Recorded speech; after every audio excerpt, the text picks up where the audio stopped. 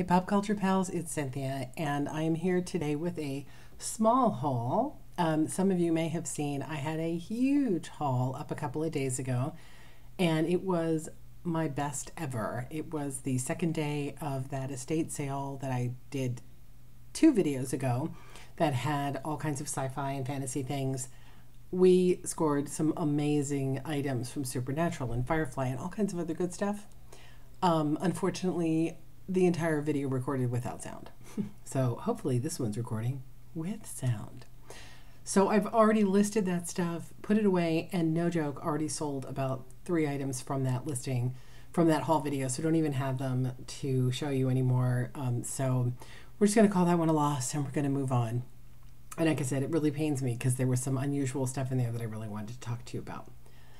So today I am back with a t-shirt haul um, I haven't actually shown you some of those in a while because I hadn't bought a bunch in a while. We've been doing different kinds of estate sales and I hadn't picked up so many. Um, this was my find of the day that I'm hoping will, uh, you know, really turn a good profit. So it's a Harley Davidson mesh motorcycle jacket. It's got some really cool detailing like this here. And then the, and the collar's really nice. And the back, oh, it weighs a ton. And the back has the big Harley um, logo on the back. Now, here's the thing about this Harley Davidson, as popular as Harley Davidson is, uh, the stuff doesn't sell as well as it used to for me, and I know for some other people. So don't automatically grab everything Harley Davidson. It doesn't always go. Jackets, though, is a whole nother story. I can't even find anything wrong with this. I'm amazed somebody turned this in to Goodwill I did pay $10 for it, which is more than I would normally spend on an item at Goodwill, but I don't think I'm going to have any trouble flipping this for minimally $50, $60 and possibly over 100 I will let you know. This was definitely my find of the day. Oh my god. So, let's move that out of the way. And let's have a little lesson in pop culture. So, here, let me do a little boost. I think will help us out some. Didn't boost enough. I know I've got a funny angle going on today um, because I literally have so much stuff on my desk that I'm listing. I had to go in a different direction. So um, we, the estate sale that we were going to, the people in the next side, the next street over, were very smart and realized that if they were having an estate sale, um, lots of people would be coming down their road. So they decided to have a garage sale, and it was an enormous garage sale. Um, once again, had a lot of fun stuff that we like, lots and lots of clothes. And this shirt was hanging up. Now, when a shirt is hanging, because they had all the other stuff spread out on a blanket on the ground, and a lot of it came from our local Goodwill, which is really funny because we recognize the tags.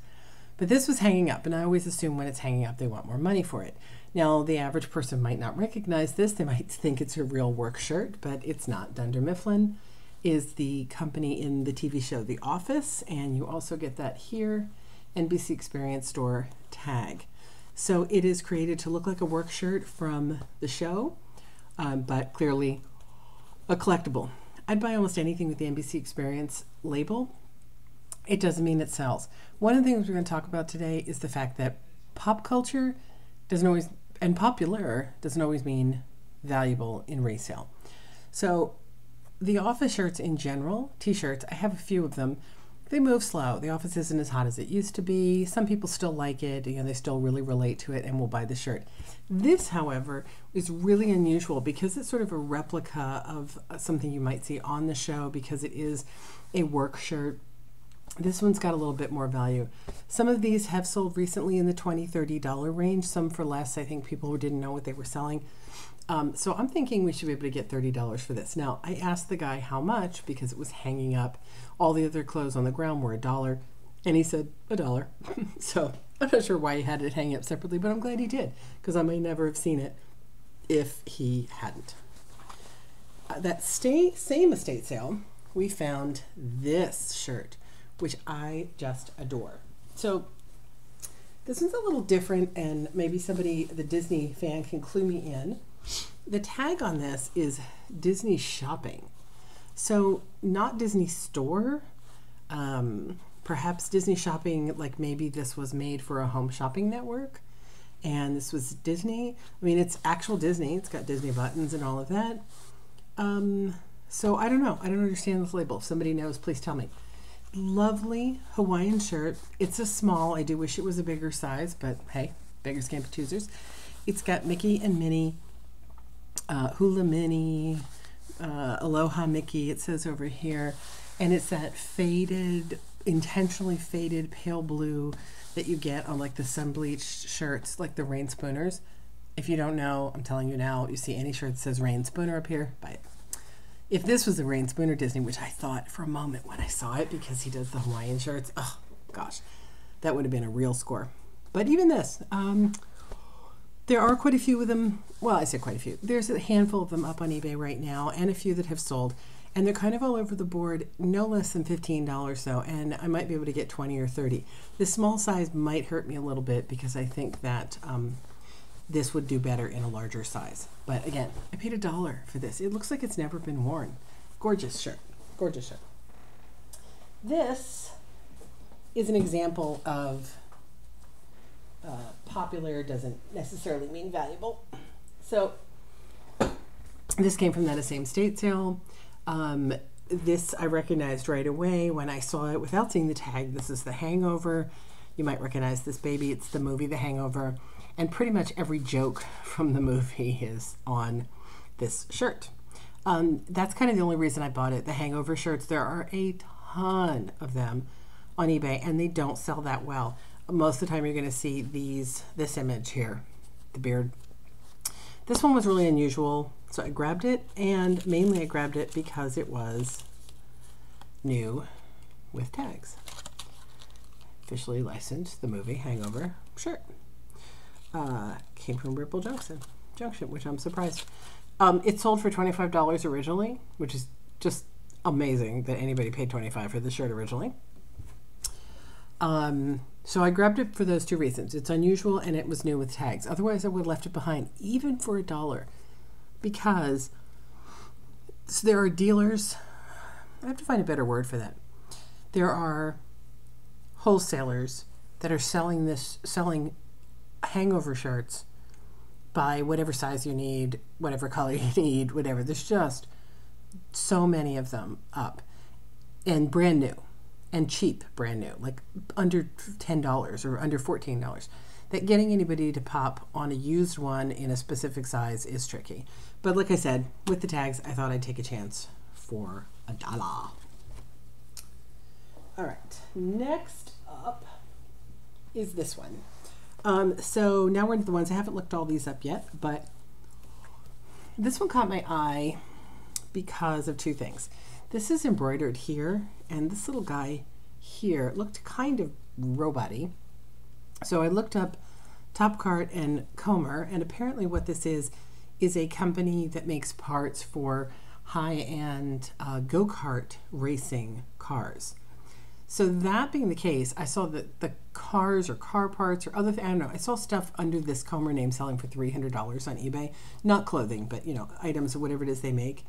So, and this is also a really nice high-end looking tag. Um, so I thought I'd try it. This is, you know, again, embroidered on here is quite high end. I don't think it says anything. Oh, it says the same thing on the back. Top Kart Comer.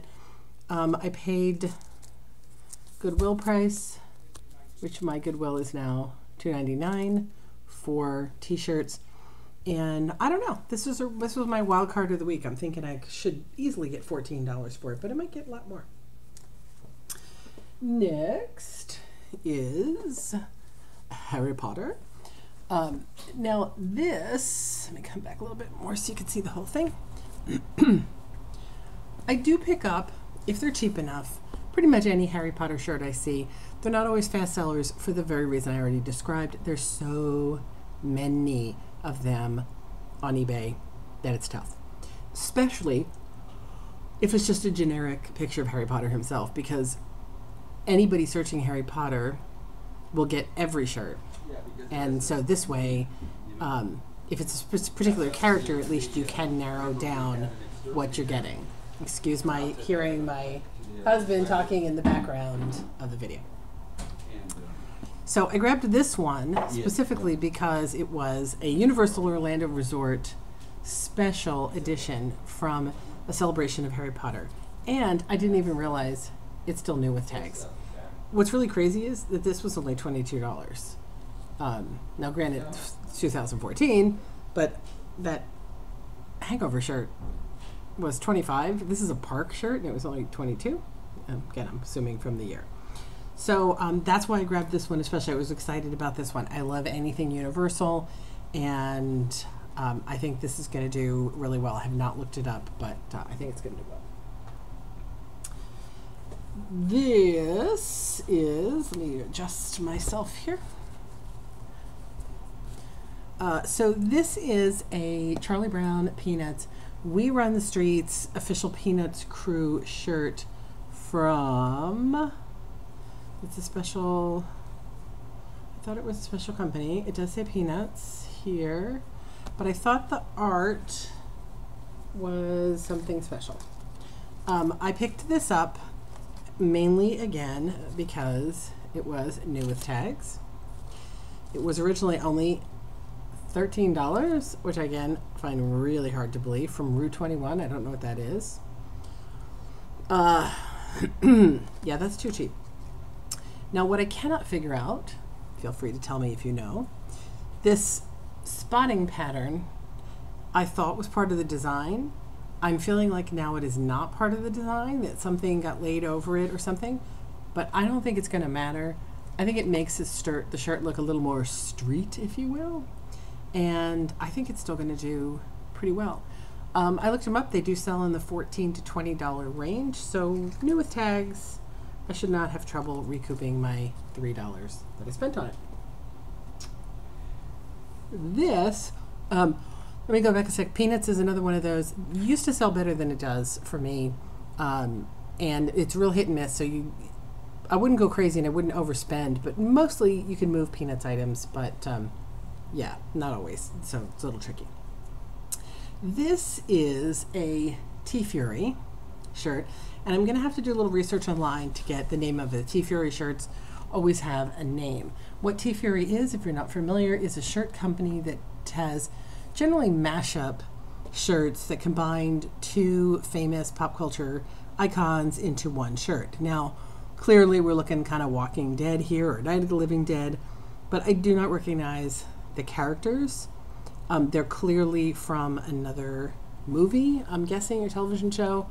Um, if you know off the top of your head, please do leave it in the comments for me. I'd appreciate saving me the work looking it up if you don't mind. Um, I fell in love with the art. Again, I don't even know what it is, but I thought the art was really cool. TeeFury shirts for me are hit and miss.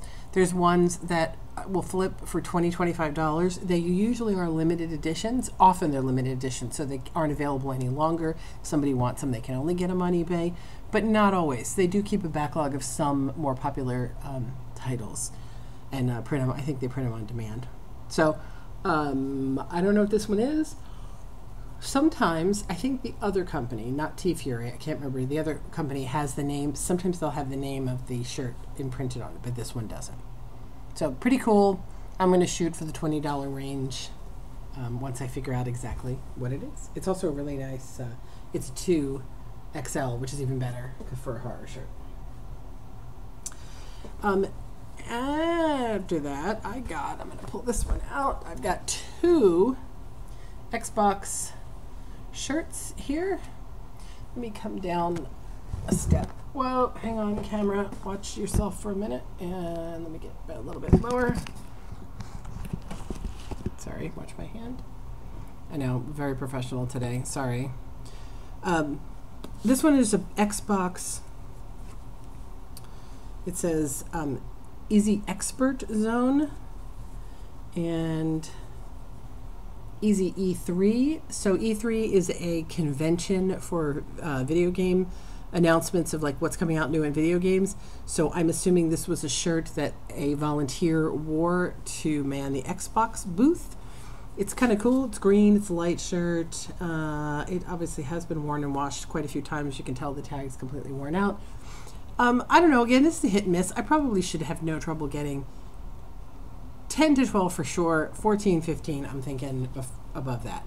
Um, maybe more because it is from a convention and they might not be able to get it. Um, same for this one. This is Xbox Live shirt. This one feels brand new, like it's never been worn. The back has the larger Xbox Live logo. Um, the fact that this shirt feels really good and it's an XL, I'm thinking again, I should have no trouble getting 14 to 20 out of this one. 14 for sure. And let me just scoot a few things out of the way here. All right, last two shirts. Let's save this weird one for la- real last. Um, so I picked this up. Hmm. I picked this one up um, at the Goodwill too, I guess. Um, Starbucks coffee and tea and spices, unusual old logo, and then the back or the inside. I think it's the back. Yeah. The back says the first Starbucks store. So I'm assuming this is a souvenir T-shirt that if you go to Seattle and you visit the very first Starbucks store, that you can buy. It's in pretty good shape. It's a large, but it's kind of a snug large. Um, I thought it was fun. You know, Starbucks is really hot. I don't know. I didn't look it up. I didn't bother because I thought it's Starbucks and it's from the first Starbucks store. So again, I'm thinking easily a $14 tea. This one is a real wild card. I can get it here where you can see it that I will have to look up. So it is a combination of Boris Karloff's Frankenstein and Frankenberry, the cereal that uh, if you're my age you grew up with. Um, it looks like an artwork tee by Rob somebody maybe, uh, Rob Man, Rob Man, hard to read that. And I think it has no tag, which is going to make it trickier. Um, but I adore, again, it's a super mashup tee. I like anything horror movie. I'm going to look really quick while you're on with me. Berry Monster shirt. There are lots of regular Frankenberry shirts from this cereal, but I do not see this one. Nope. So that could be a good sign. It could mean it's a really valuable rare tea. I'm going to have to do my homework a little bit and find out who this is. This um, the artist's name here, um, and look that up. So that's that. Um, real quick, since we're looking, I also picked these up. I don't usually pick up box sets at the Goodwill because they're very expensive, but they gave these to me for regular $2.99 DVD price. It's a set of Perry Mason movies. They had volume one and volume two. Um, I did mess myself up a little. It was a little bit of a fail because when I looked it up, I saw Perry Mason's selling a lot, the movie collection selling for $30. I did not realize that it was the complete series, not the volume one series. So the volume one and the volume two that I got, probably I might be lucky if I got 30 for each because somebody can spend 30 to get the entire series. So I should make my money back on them, but it's not going to be the good flip that I was really hoping it was going to be. Um, I think I'm going to stop there. I did want to tell you I bought, I did go back to that estate sale and buy a ton of Playmobil, a ton, a ton, a ton, and I've been spending an hour practically every night just going through, sorting it all, matching pieces up, and trying to create um, sets as close to the original sets as possible. Uh, the first three sets I listed were up for less than 24 hours when they sold. They sold for good prices. They didn't sell for fantastic prices. I took good deals on them because I wanted to get my money back out of it, and I already have. So, less than 24 hours after I bought the Playmobil, I've already paid back in, paid myself, as it were, everything I put into them. So I'm at profit going forward. So that's what I've got for you right now. I hope that you were able to actually hear this video and I hope you learned something or at least got enjoyed the great shirts I picked up this week. If you went thrifting this weekend, I'd love to hear about your finds and your favorite pop culture items, icons. Do you love Frankenstein? Did you eat Frankenberry cereal? Tell me about it in the comments below, and I'll see you next time.